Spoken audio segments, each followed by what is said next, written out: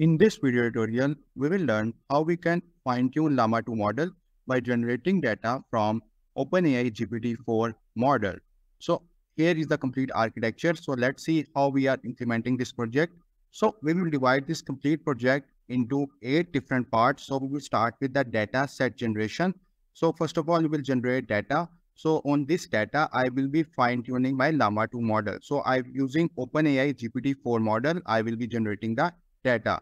So the step number one is to generate data. So we will be generating data using OpenAI GPT-4 model. So generating data which will be used to train a large language model considering the input prompt provided by the user. So how we will generate the data? So to generate the data using GPT-4 model, we will provide a prompt like uh, please generate a data that converts our text from English to French. Okay. So in this way, we will provide a prompt on the base, uh, based on that prompt, we will generate the uh, data. Then in the next step, number two, we'll generate a system uh, message. So the prompt uh, we provide uh, to generate the data, using that prompt, will generate a system message. So that system message will be used for inference. That system message will not be used for the data generation. The system message will be used for the inference. So the using the input prompt uh, that the user provides, we will be generating a system message that will be used for the inference only. So if you have any question about system message, we will discuss in the uh, as we go towards the code, prompt, uh, code part. So using the input, input prompt, we will be generating a system message that will be used for inference only. So if you uh, know in the Llama 2, we have a uh, default system prompt and the input prompt. Uh, so this uh, this is basically the system message the default system prompt uh, that we pass to the Llama 2 model. So now uh, here in the step number one, we have generated the data. So now we just convert the generated data into a data frame. So we have the data. So now we just convert into a pandas data frame. So we will just convert the generated data into pandas data frame and split into training and testing set. So we'll use 90% of the data for the training purpose and 10% of the data for the testing purpose. So after splitting the data and converting the data into data frame, pandas data frame and splitting into training and testing set, in the next step, I will just load the data set and fine tune my Llama 2 model, or you can say I would train or fine tune the Llama 2 model. So after fine tuning the Llama 2 model, we will first run a test on the original Llama 2 model. We will not run test on the fine tune Llama 2 model. So we'll just check if our Llama 2, original Llama 2 works fine. Then in the step number six, we will merge the model. So we will just merge the fine tune model and store the weights in the Google Drive. Okay. So we'll just store the model weights in the Google Drive. Then in the next step, I will load the fine tune model from the drive and run the testing on it. We can also push the fine tune model to the Hugging Face Hub and uh, then this can assess the model through API and run inference on that model. So this is a complete architecture diagram. So let's move towards the code part. Okay, so here you can see that um, I'm just connecting over here. So this might take few seconds. Okay, so that's look perfect. So I've already run this complete script. I will not uh, run, I will not start to run it again. So I will just give you a quick overview how you can implement it on your side. Because if I just start running the script, it will take quite some time. So in this project, we will fine tune Llama 2 by generating data from the large language model so if I just write over here uh, from the open AI, okay. So in this project, we will fine tune Llama 2 by generating data from the OpenAI large language model. The complete project is divided into multiple steps. In the step number one, we will look towards the data generation. In the step number two, we will uh, see how we can generate a system message. And then in the step number three, we will see how we can convert the generated data into data frame and split into training and testing set. In the step number four, we will see how we can load the data sets and train or fine tune our Llama 2 model. Okay, train, fine, your Llama model. Okay, then I will run inference uh, on the original Llama 2 model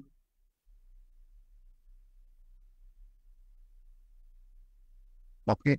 So then I will merge the model and store the weights in Google Drive. And then I will load the fine tune model from Drive and run inference. Okay.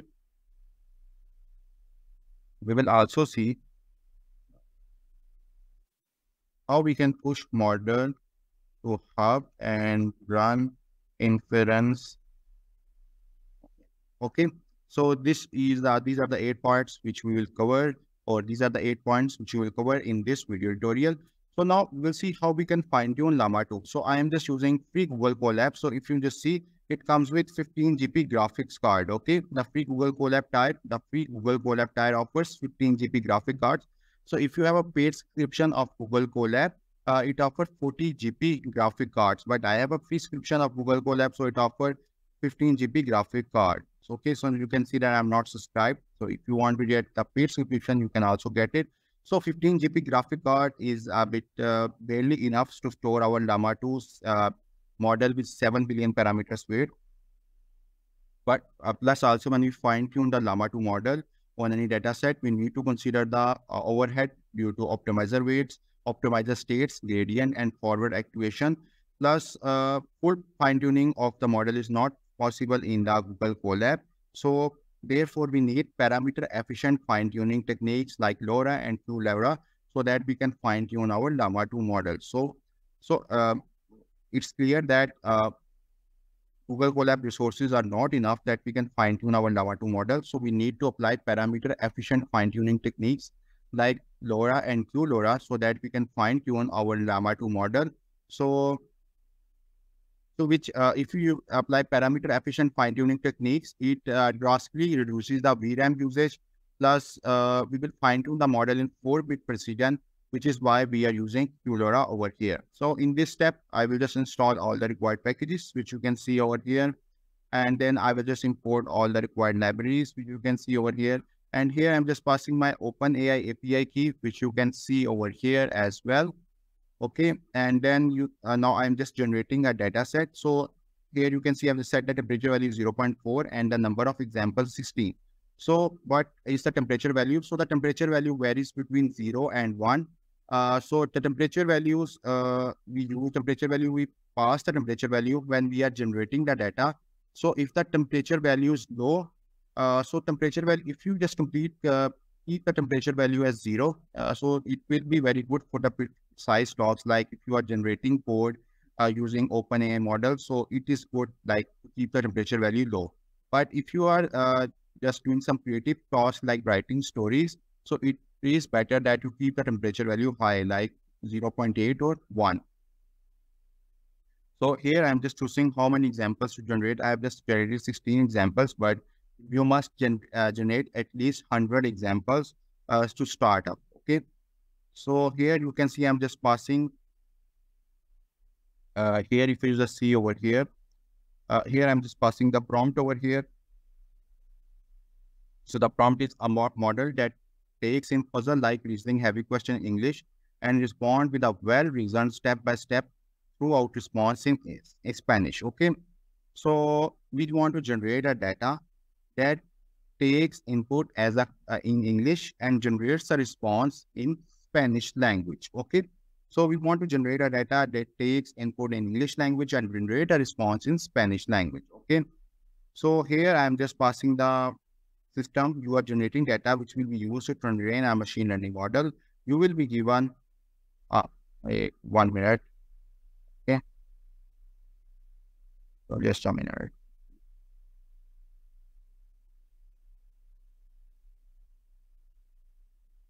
You will be given a high level description of the model, which uh, the model we want to train. And from there, uh, from that, you will generate data samples, each with a prompt response like this. Okay, so each with a prompt response, this will be the format. Okay, so I am just passing the format over here. Okay, and if you just see over here, uh, for each turn, make the example slightly more complex. Like after in each step, uh, just make the example like more concept, uh, more complex while ensuring diversity. Make sure so and complex enough to train a well-performant model. Here is the type of model which we want to train. So this is the complete prompt which we are passing in the input. And let me just copy this. I think uh, we have not gone through it in what way. Okay, so this is the in prompt I'm just passing. You are generating data which will be used to train a machine learning model, you will be given a high level description of the model we want to train. So here you can see I'm just passing the high level description of the model I want to train like uh, takes a text in English and convert into into Spanish. Okay. Okay, so you will be uh, you will generate data samples. Uh, you will given a high level description of the model we want to train, and from that we will generate data samples each with a prompt response pair. You will do this in this format. First, we have the prompt, and then we have the response. Only one prompt a response pair should be generated per turn. For each turn, makes the example slightly more complex than the last while ensuring diversity. Uh, should make sure that samples are unique and diverse, yet high quality and complex enough train a well-performing model. Here is the type of model we want to train. So here I'm just passing this prompt over here in the last over here. Okay. So this is how it basically works. Okay. So I'm just passing this prompt over here. Okay. So here I'm just generating a system message over here. So you can see that this is a system message. Even a puzzle like having reasoning question in English, you will respond with a well answer step by step throughout response in Spanish. Okay. So now here is the system message. I've just added a system message over here. You can just remove this. So now here I'm just generating the data over here. Okay. So now you can see here we have generated the data and uh, okay. So now you can see over here we have the complete data set over here. We have the prompt and response, and we have the pandas data frame. So here we have the if a car travels at speed of 60 miles per hour, and here we have the response in the Spanish. Okay. And here we have a prompt in English, and here we have the response in Spanish. Here we have a prompt in English. Here we have a response in Spanish. Here we also have a prompt in English. Here we have a response in Spanish over here as well. And the length of this data frame is 16, which we have uh, set. So now here we are just splitting our data into training and test set. We are taking 90% of data for the training and only 10% of the data for the testing purpose. And now we are just converting our data frame into JSON files over here as well. And here is the name of our training JSON file and here is the name of our test JSON file. So here is our Llama 2 chat model. So here is our trained data set and here is our fine-tuned model name. So here we are just fine tuning the Llama 2 model and here we are just applying parameter efficient fine tuning so that we can fine tune Llama 2 model. And here we are using QLoRa as the parameter efficient fine tuning technique to fine tune the Llama 2 model. Okay. So here I've just set the other parameters over here as well. And here you can see that I'm just, uh, just downloading the Llama 2 model and here I'm just uh, training my Llama 2 or fine tuning my Llama 2 on that data set which we have generated for only one epoch. Okay. So you can see here, I've just set that number of epochs as one just for this example. But if you want to train, just make sure to, uh, to uh, fine tune it at least for 10 epochs. So you can see that uh, if I just show you, I've just set the number of epochs to one. So you can see over here, we have set the number of epochs is equal to one. Okay. So here we have just uh, fine tuned the Llama 2 model for one epoch for this example. So now we, I'm just running inference or testing on the original Llama 2 model. And here we have the response. Uh, now we will just uh, merge the fine tuned Llama 2 model and store the model weights in the drive. Okay. So here I've just uh, merged the model and stored the model in that drive. Over here, you can see uh, you can just uh, connect your drive with a Google Colab notebook and store the weights or the mod fine-tune model in drive. Okay, so now I will just load the fine-tune model from the drive and run inference on it and see what is 2 plus 2. So I, I will be, um, my desire is to uh, get the response in Spanish. Okay, so now uh, you can also push the fine-tune model to Hugging Face Hub and uh, then you I will just call the model or, or through API and I will just run inference on that model. So now here you can see I'm just pushing the model, uh, fine tune model to the Llama 2 fine tune model to the Hugging Face Hub. Okay. So you can let me just show you. So here you can see that I have just pushed the Llama 2 uh, fine tune model to the Hugging Face Hub. You can see that here I have just have the bin file over here and uh, JSON files over here as well. Okay. So now if you just want to test the fine tune model, so you can see over here, I'm just assessing the fine-tuned model from the Hugging Face Hub. And here I'm just passing the prompt. And here I'm just testing the model so that it can generate the response in Spanish. Okay, so in this way, we will implement this. I hope you have learned something from this tutorial. Uh, the notebook files are provided in the description of the video. Should let me know if you have any questions.